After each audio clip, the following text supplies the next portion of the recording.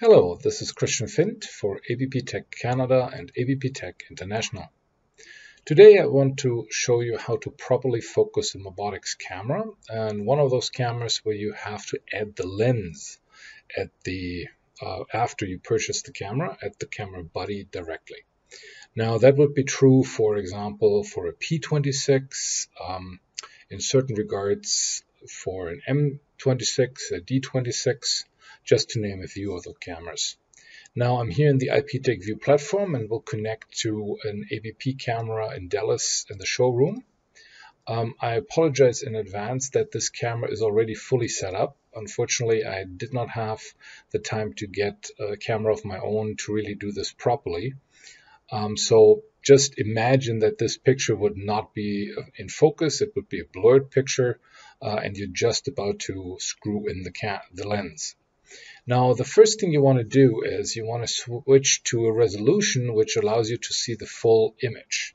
So in this case, that's already been done. Where um, if you check out the image size here, you see it's set to XGA. Um, that's from my screen here a good resolution. But if you have a lower resolution for the computer you're doing it with, choose SVGA or VGA. After you've done that, um, the next step would be to switch on the focusing aid. So in cameras with an audio module, you can switch it on with audio. The higher the tone, the more in focus the lens is. Uh, or in this case, because we can't hear the camera anyhow, I enable just the optical visual uh, sensor. And you see here the rectangle in the middle, as well as the green bar which will go up uh, eventually a little bit more because that's uh, yeah that's just not good. Now I have to tell you that again it is uh, almost 9 p.m. and um, this camera is in the showroom so lights are out. This is a really poor lighting condition uh, resulting in this really not so good image.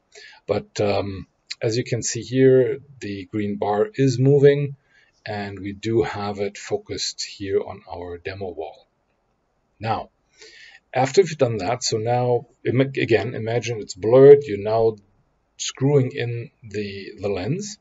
The more you screw in the lens, the tighter it should become. Uh, meaning you only have to do this once. So you tighten it until this picture becomes focused.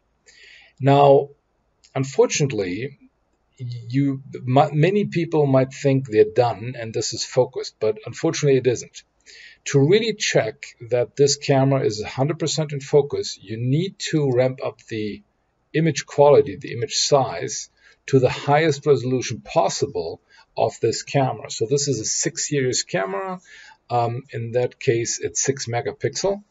If it would be a 7 series camera, but there is no 7 series camera yet where you need to adjust the focusing ma manually, that's all been done from the sensor lens module modules, uh, then it would be 8 megapixel, 4K or 8 megapixel. So in this case, it's just 6 megapixel.